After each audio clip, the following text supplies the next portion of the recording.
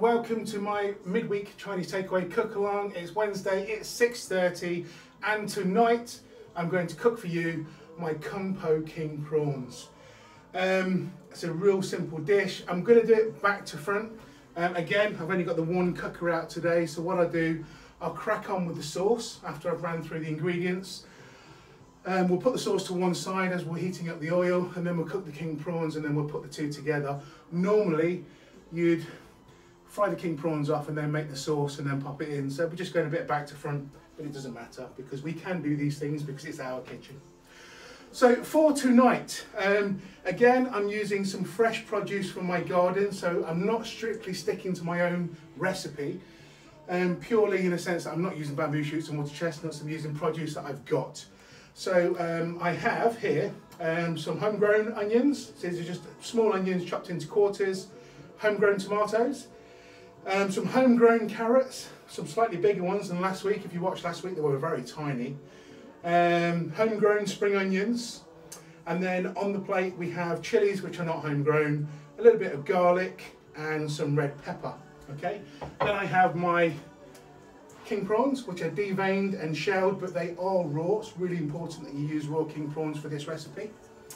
Um, for the sauce, you're going to need some sugar, some hoisin sauce. Uh, again, this is the brand that you can buy from all supermarkets. Some rice vinegar. Okay, I think last week I called it rice wine vinegar. It's not rice wine vinegar, it's rice vinegar. If you don't have rice vinegar, you can use um, cider vinegar, I think. I think it's called cider vinegar, or even uh, like a, I think there's, anyways, not a harsh vinegar, not a malt vinegar. You don't want to use malt vinegar in this, okay? Um, some tomato ketchup, some tomato puree, um, half a cup of water, um, and some corn flour and water mixed together to make a slurry. And then for the coating, we're just going to use an egg and corn flour batter to make the um, prawns nice and crispy. And if you want, you can salt um, the king prawns as well. Okay, so first things first, we shall get our wok on. And to that, I'm going to add quite a lot of veg, so I'm going to add about two tablespoons of oil, okay? And all I'm going to do, I'm going to soften my vegetables first before adding all the sauce ingredients. You do need to get some cashew nuts. You, you tend to find with the Kung Po, it always comes with cashew nuts. Some takeaways will serve it um, in a batter, others won't. I like it in a batter. So first things first, guys, oil's nice and warm now in my wok. I'm going to add my chopped spring onion, my minced garlic, and my chilli. So in there you go. I'll give it a quick stir for 30 odd seconds. Maybe not even that, 20 seconds. Just to release some of those aromats. And straight away, the chilli went right up my nose and I stopped myself from sneezing and coughing there. Lovely. And then I'm going to add my onion just to soften. And what this does, it just helps bring that heat back down in the wok um, so my garlic doesn't burn. So now that I've got a few ingredients in there, so it's a lovely smell already. So to my onion, I'm going to add my carrots and pepper. And lastly, I'll add my tomatoes. And we're going to use the same plate to serve this dish up on, okay? And again, I'm just softening these. I don't really need to get much colour on this one. We are going to make a sauce, and it is going to sit in the sauce for a good 10, 12 minutes before I serve so uh, the vegetables will have time to soften even more so. So I'm not going to overcook them at this stage. Obviously, if you did it the right way round, where you fry the king prawns first and then make the sauce, you can cook the veggies for a little bit longer because you just want to make sure they're soft enough to eat if you like your vegetables with just a little tiny bite, but not too crunchy. But as we're letting this sit, I'm going to speed through the sauce part of this recipe. All looking lovely in there. Everything's got a nice coating of oil. Everything's well mixed. The chili keeps on hitting the back of my nose, which is a good sign. I've got a slight colour, not a lot, going on in my wok. Everything's starting to soften and go translucent, which is good. So I'm going to add my homegrown tomatoes. And I'm just going to give my plate a quick, so it's clean cloth, so it's fine. Give that a quick wipe and that can be used then to serve my dish on. I'll pop that just there out the way.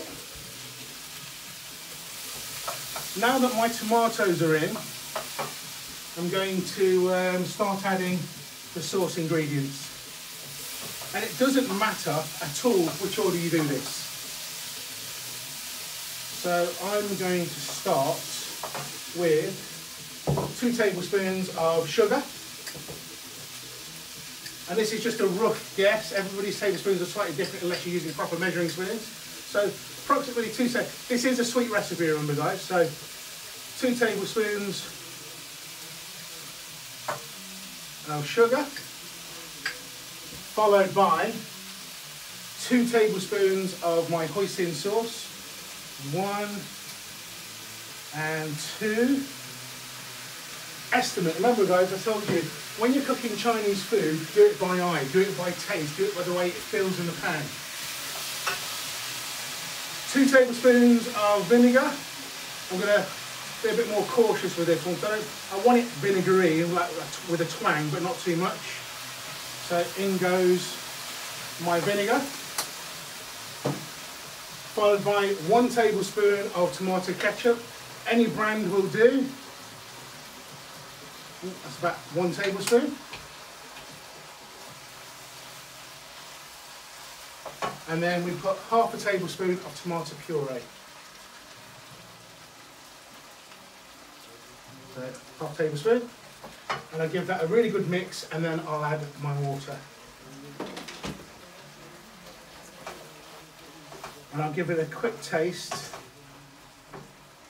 So you want about half a cup of water. I've probably got a little bit more in here. So I'll add some just to see how we get away with it. I'm going to add that for a start and just let that come back up to the boil. Just making sure that that tomato puree is well and truly mixed into all of those vegetables. And like I said, because the vegetables are going to sit in this hot sauce, they will soften further just before I serve with my king prawns. Okay, quick finger dip. And I'm going to add just maybe half a tablespoon of hoisin sauce, just a little bit extra. It tastes really nice, but I just want that richer taste, I guess, you know, that more of a five spice taste I'm looking for. So give that a good mix and I give it a good another taste. Say a good another taste, I give it another taste even. Lovely, so that's perfect now. But again, you've got to do this to your own taste. So um, when you're cooking this at home. If you like it more spicy, add more chili. If you like it with a more of a twang, add more vinegar. Uh, if you're a big fiend like my youngest daughter with tomato ketchup, more, put more tomato ketchup in. It's your dish, you make it your own. So my recipes are there as a guideline. Now you can follow them to the T and you'll get fantastic results. But the best results are the ones that you tweak out and make your own. Okay, so this is just corn flour and water. My sauce is boiling. I don't need a lot. And as I add this, I'm just going to make sure I keep my sauce moving.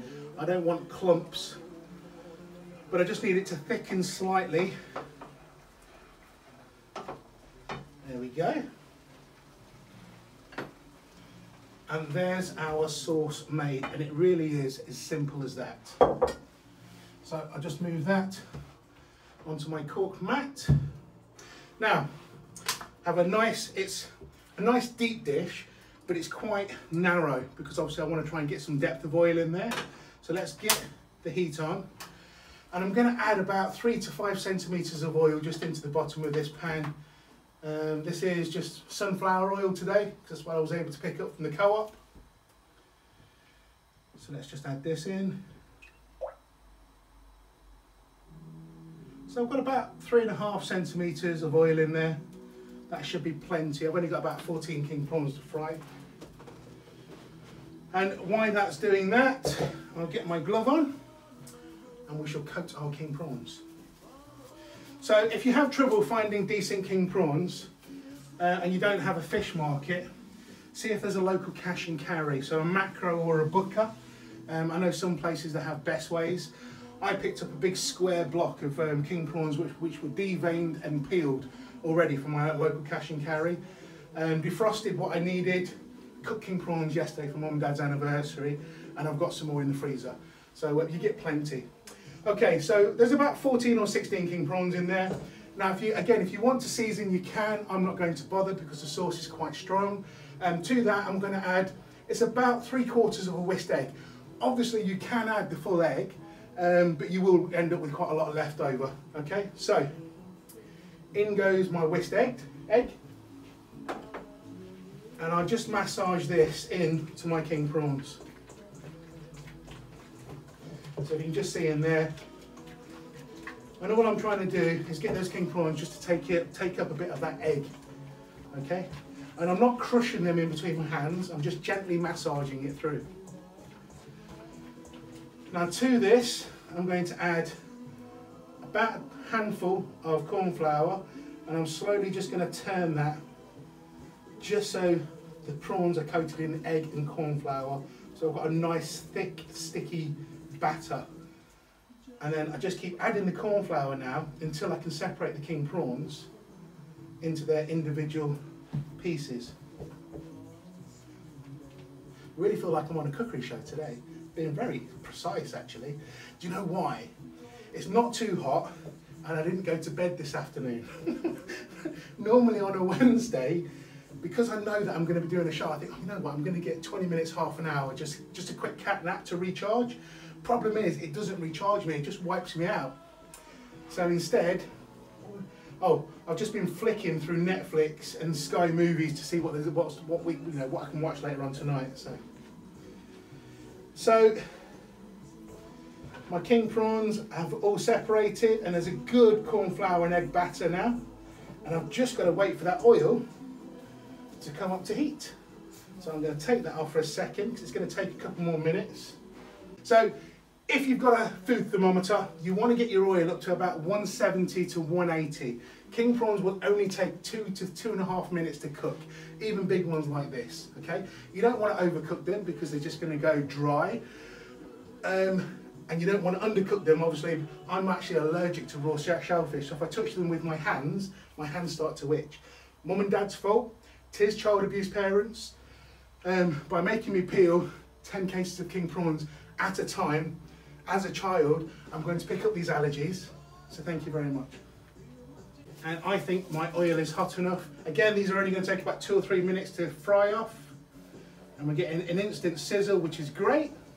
Three, four, six, seven, eight, nine, ten, eleven, twelve, thirteen, fourteen, fifteen and 16. I was right. Lovely, lovely. Let's just give this a quick move around to make sure they're not sticking on the bottom. And then I have some kitchen paper already prepared. And you don't have to use kitchen paper. If you have a wire rack, by all means, just um, let them drain on a wire rack. That's absolutely fine. Oh, look, I've got talcum powder all over my shirt now from the gloves. Colour's still looking good up there, which is great. So obviously when I edit this video, you'll see in the pan, there's a lot of water escaping, a lot of bubbles. I'm just going to let this die down for about another minute and then we're done. And then we can serve. And I've got my rice on in the rice cooker already.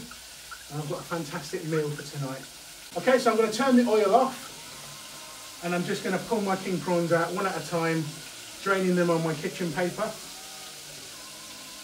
And you can see that they're lovely golden brown now. Got a lovely crisp corn flour batter coating them. And um, I can't wait to sink my teeth into these actually. A few more. So unlike the chicken and the pork, you don't have to cook this as long, obviously. So there is still a little bit of action going on in the pan, but it's absolutely fine. These prawns will be cooked in this time, definitely. Now, normally, um, you would heat this sauce back up again. I'm not going to because I've got hot, hot oil in this pan. So warm your sauce back up if you've done it like me. Pop in your king prawns and give them a quick stir and just coat each one with this lovely, rich, aromatic hoisin, vinegary, tomatoey, sweet, lovely sauce.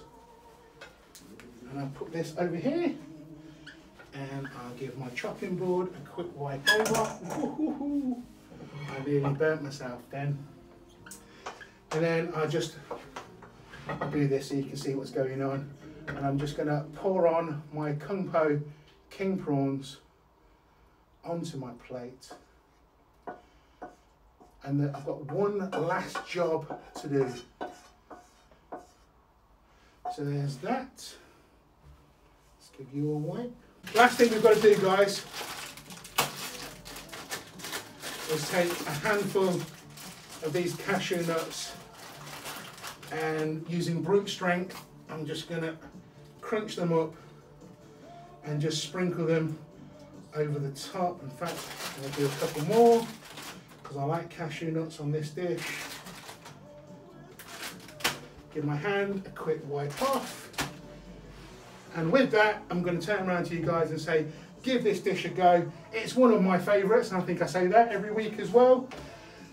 My Kung Po King prawns made for you in 25 minutes from start to finish, and that's with me waffling on. Um, please go and give it a go. Thank you again for tuning in, and uh, hopefully I shall see you next Wednesday. But until then, have a fantastic week. Go and enjoy whatever you're doing. I actually like it when it's like this, and I can't wait to dip my toes in a big sea with the rain pouring down on me. So I shall see you later, okay? Bye bye.